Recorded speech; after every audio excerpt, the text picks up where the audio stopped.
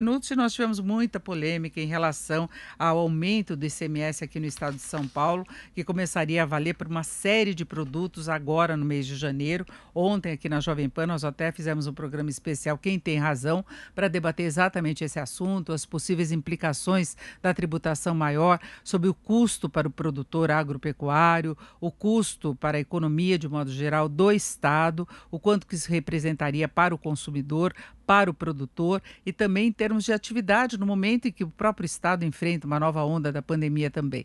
Depois, à noite, o governador João Dória divulgou um comunicado dizendo que após a reunião com a equipe econômica do governo de São Paulo, determinei o cancelamento de qualquer alteração da alíquota de CMS em alimentos, medicamentos e insumos agrícolas. Não é segundo o governador, nada será feito em prejuízo da população mais vulnerável. E nós vamos falar sobre essa situação agora com o Gustavo Junqueira, que é secretário da Agricultura Agricultura e Abastecimento do Estado de São Paulo. Secretário Gustavo Junqueira, boa tarde. Boa tarde, Denise. Muito bom estar aqui com vocês na Jovem Pan. Bom, secretário, o senhor estava dos dois lados, né? De um lado como produtor rural, representante da área rural, e de outro lado, do lado do governo, governo que está preocupado com o ajuste das finanças, lidando com o rombo previsto para este ano, inclusive em função da pandemia. Como é que o senhor viu essa decisão agora e todo esse processo? Nós tínhamos, inclusive, manifestações marcadas para hoje do agronegócio, com caminhoneiros aí pelas estradas em várias cidades. Houve até o início dessa essa mobilização, depois foi interrompido, mas eu gostaria de saber sua avaliação sobre essa situação. Bom, boa tarde novamente, Denise. A discussão, é, sob o ponto de vista do, do balanço do Estado, né, acho que o governador João Dória é, tem aqui muita experiência é, que ele acumulou no setor privado e que ele hoje usa na gestão do Estado. Se analisar todos os elementos, tanto do ponto de vista de receita do Estado, né, a tributação, é, como também as despesas. É, o equilíbrio fiscal é uma das é, maiores responsabilidades aí que o governador é, tem é, como chefe do executivo estadual.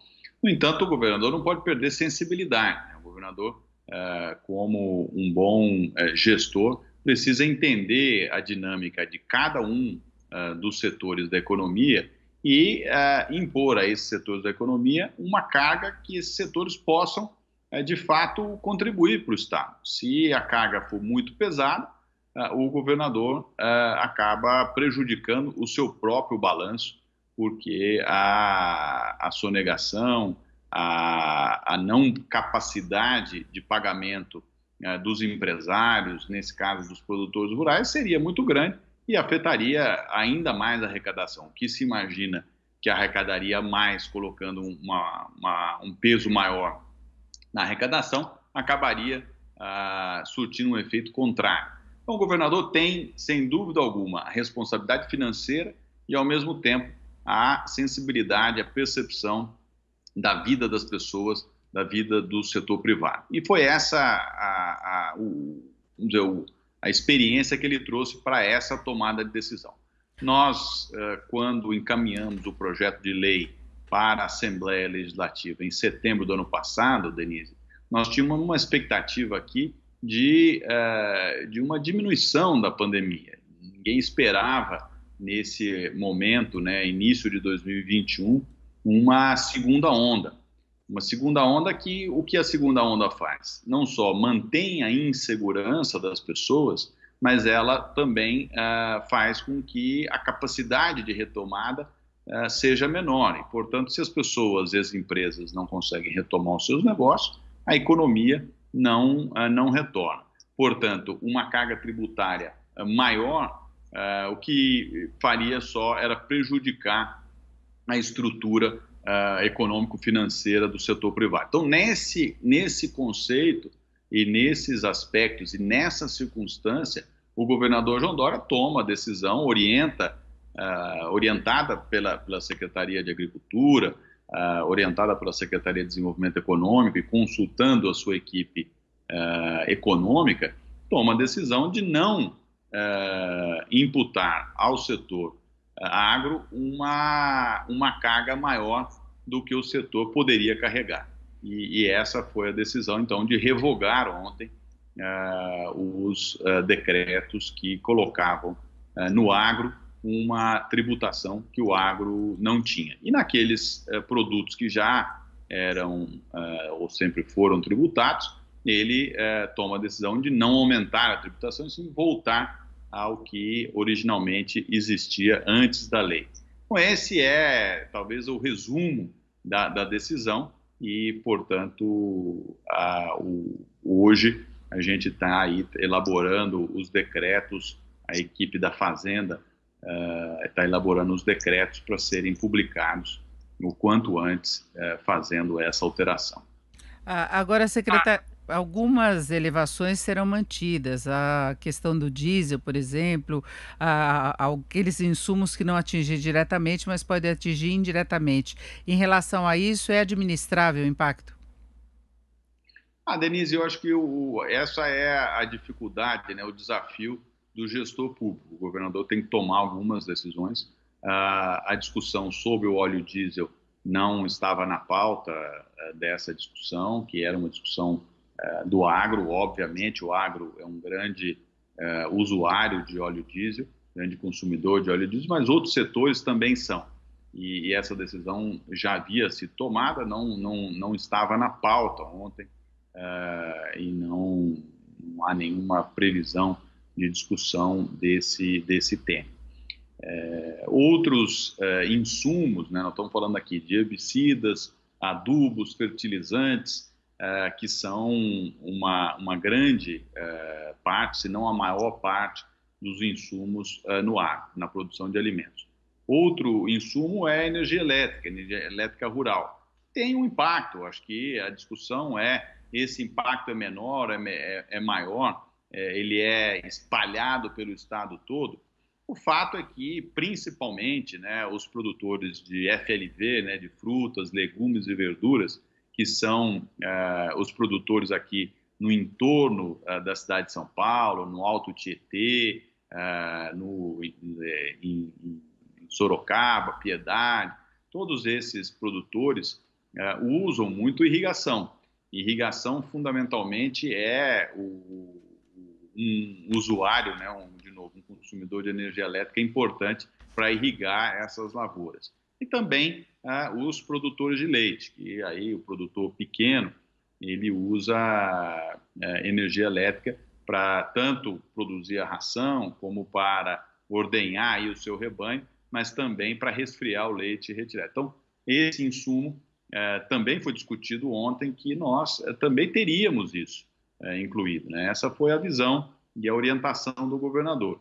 E agora a Fazenda está trabalhando em cima desse, desse aspecto. O outro é tudo que, é, como o governador fala, né? tudo, que, tudo que vai na boca, né? tudo que nós é, comemos, está é, tá protegido por essa orientação do governador para que não haja nenhuma alteração na tributação. Agora, secretário, qual a expectativa em relação à evolução dos preços, que sem dúvida alguma a disparada que nós tivemos de inflação no ano passado teve muito relacionada ao aumento do, do custo da alimentação, né? Por vários fatores, dólar, aumento de preço do exterior, aumento das exportações para a China, problemas na oferta de alguns produtos, e a gente ainda sente uma, alguma pressão. Né? Carnes, por exemplo, continuam com preço muito alto. Ah, qual a expectativa para 2021? A expectativa, Denise, é, é, continuamos com um mercado aquecido internacional, né? então as grandes commodities é, continuarão com, com, uma demanda, soja, milho, é, algodão, é, essas, essas commodities, carnes, né? todas as proteínas, continuam com uma demanda alta. Essa demanda, ela faz com que nós tenhamos que produzir mais o ciclo uh, da produção do agronegócio é um ciclo longo. Então, a tomada de decisão ela precisa ser uh, uma tomada de decisão baseada na, na, segurança de que o negócio uh, de que o negócio é bom, de que o negócio vai dar retorno. Quando a gente fala, a gente escuta algumas colocações equivocadas, né? ah, o preço aumentou muito, então o produtor está ganhando muito mais. Isso não é uma verdade, né? Esse é um mercado onde você compra o boi magro, engorda o boi, é, vende o boi é, para você comprar o boi magro de novo, é, tudo sobe ao, ao, mesmo, ao mesmo tempo ou há alguma arbitragem, mas não há um, um insumo não tendo um reajuste e o produto final tendo um reajuste. Do mesmo modo, a própria soja. Você tem uma demanda maior, você tem uma, um, um câmbio que subiu uh, e você, então, opera com margens uh, bastante parecidas de um ano para o outro, independente do valor final, independente do faturamento. Por quê? Porque o mercado é super competitivo. Se há um mercado no Brasil, um setor da economia onde nós competimos globalmente, é o agronegócio. Então, a expectativa é que nós tenhamos uma demanda forte, com uma, uma queda do dólar, que é esperado, você estava falando um pouco aí das expectativas sobre os Estados Unidos na sua reportagem anterior, se houver uma injeção de capital grande é, por parte do governo Biden, se tivermos aí uma, uma, uma redução do risco Brasil, né, se a gente conseguir passar algumas reformas, ah, o dólar pode ceder aí a níveis mais uh, baixos do que nós estamos uh, assistindo hoje. Se isso não ocorrer, o dólar permanece no nível que está. Agora, o agro corre um risco muito grande, né, Denise? Porque é o risco de você comprar os insumos agropecuários, que é onde a gente está discutindo aqui o ICMS, numa taxa de dólar alto e uh, vender os seus produtos uh, oriundos desse, desse insumo uh, numa taxa de dólar mais baixa. Ou seja, isso cria descasamentos dentro da, da sua operação financeira e, sem dúvida alguma, você precisa ser um bom gestor, um bom operador. Então, a expectativa para o próximo ano é que nós tenhamos uma produção maior. E isso pode equilibrar os preços e, eventualmente, até uh, podemos observar uma redução de preços. Ouvimos o secretário Gustavo Junqueira, que é secretário de Agricultura e Abastecimento do Estado de São Paulo. Secretário, muito obrigada. Uma boa tarde. Eu que agradeço. Boa tarde a todos.